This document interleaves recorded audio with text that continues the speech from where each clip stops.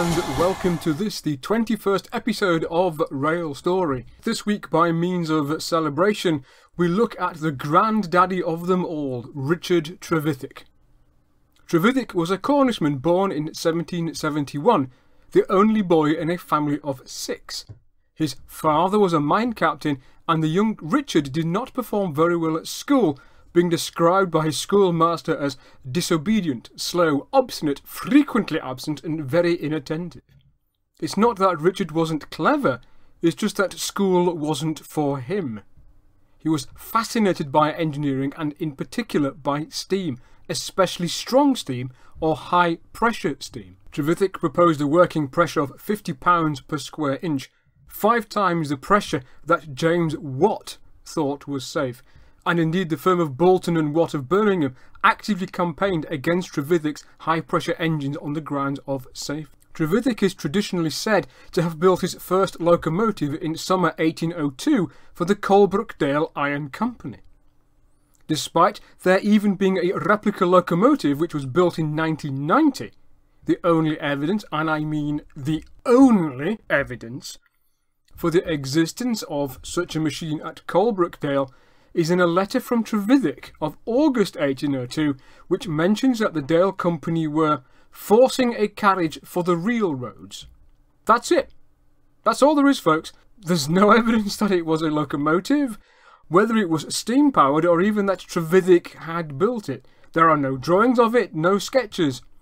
The sum total of evidence is that one sentence in that letter of August 1802. Coalbrookdale did use a Trevithick stationary engine and there are payments for it, and it's likely that the remains of this machine, coupled with the Trevithick letter of August 1802 and a drawing dated December 1803, which was found in South Wales for a 3-foot gauge Trevithick type locomotive, have led historians astray. More on that drawing later. So on to Penydarren. Penydarren, as you probably can guess, is in Wales. It's in South Wales near Merthyr Tydfil, the heart of the South Welsh iron and coal industry. And it was here that Trevithick definitely did build a locomotive. The ironworks at Penydarren were owned by the Homfray brothers, Samuel, Jeremiah and Thomas. Uh, they were not Welsh, they were in fact from Stourbridge. And it was with Samuel Homfray that Richard Crawshay staked a bet of 500 guineas or about £23,000 in today's money, whether this locomotive could take a load of 10 tons down the full length of the Penydarren line, accompanied by only a single man, and then return with the empties. The trip to decide the bet was made on the 21st of February 1804. Trevithick wrote the next day. Yesterday we proceeded on our journey with the engine. We carried 10 tons of iron, 5 wagons and 70 men riding on them the whole of the journey. It's above 9 miles, which we performed in 4 hours and 5 minutes, but we had to cut down some trees and remove some large rocks out of the road. The engine, while working, went nearly 5 miles per hour. There was no water put into the boiler from the time we started until we arrived at our journey's end. The coal consumed was 200 weight. On our return home, about 4 miles from the shipping place of the iron, one of the small bolts that fastened the axle to the boiler broke,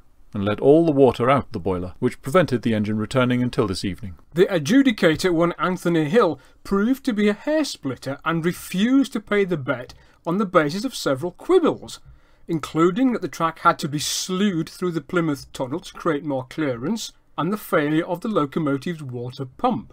The Penydarren locomotive was more manageable than horses, and it was easily able to draw a load of 10 tons, and as Trevithick notes, it was worked for several days, running the full nine and a half mile length of the Penydarren tramway. Trevithick even planned that the engine should pull Samuel Homfray's coach along the tramway, making it the first passenger train pulled by a steam locomotive. Unfortunately, it was found too heavy for the brittle cast iron tram plates. The engine ended its days as a colliery winding engine at Ffos-y-fran coal pit, where it was probably scrapped in 1859.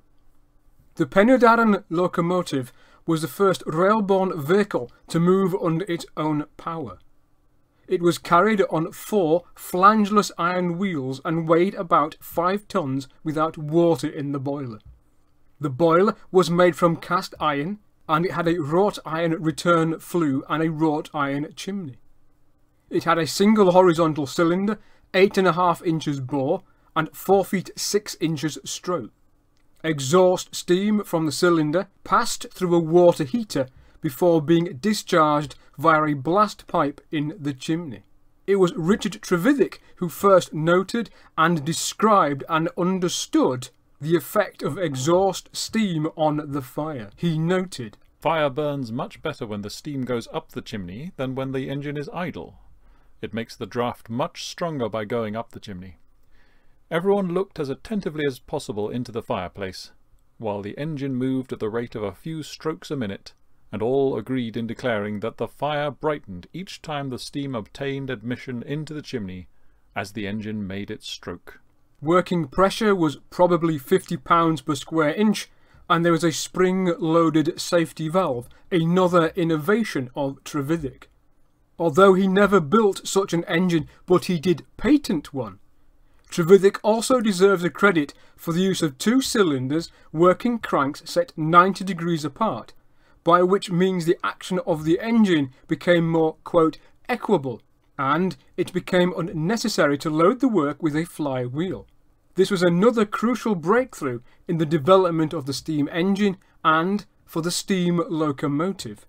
Trevithick conclusively proved that thanks to the use of high pressure steam, a steam engine could be built sufficiently lightly to propel itself, and that there was enough friction between iron wheels and an iron rail to allow such a machine to move itself along. He wrote, When that engine in Wales travelled on the tramroad, which was very smooth, yet all the power could not slip round the wheels when the engine was chained to a strong post for that particular experiment. Sadly, there are no contemporary drawings of the Penydarren locomotive. When a drawing emerged in South Wales in 1855 showing a geared Trevithick locomotive, it was initially and immediately thought to show the Penydarren engine. It was a four-wheeler with a geared drive, a single cylinder and a massive flywheel. It all fitted the bill. But on closer examination, it couldn't be the Penydarren engine, as the gauge was all wrong. Penydarren was laid to a gauge of 4 feet 4 inches, and the drawing was for a gauge of 3 feet. The other dimensions were wrong too. Furthermore, given the presence of the small Plymouth tunnel on the Penydarren tramway, a large flywheel and a tall chimney simply would not fit through the tunnel. And this isn't a new problem. Railway historians have been wrestling with it since the 1950s.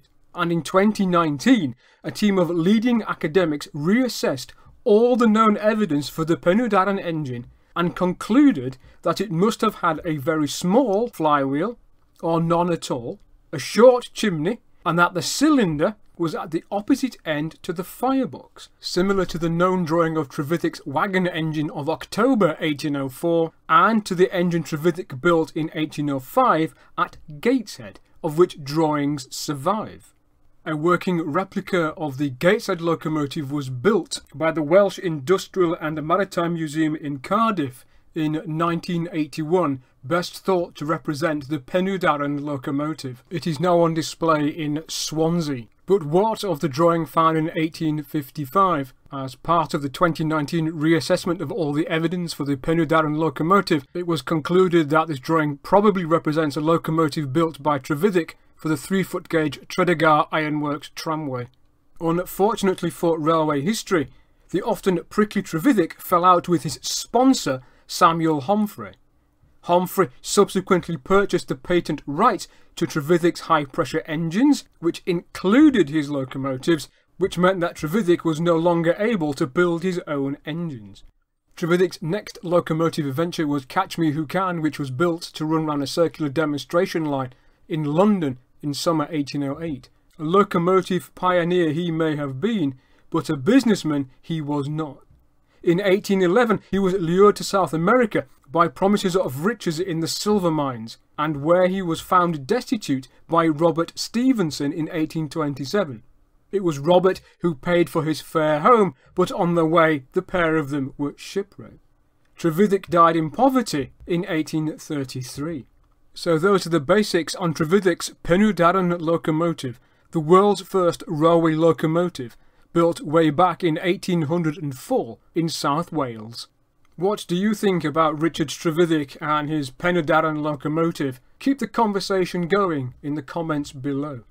If you have enjoyed this video, and if you haven't already, please help the channel grow by liking, sharing and subscribing. And as a bit of a teaser, there will be a question and answer session when we hit 300 subscribers. If you'd like to find out more about Richard Trevithick and other steam pioneers, check out my book, Before Rocket, available from Gresley Books.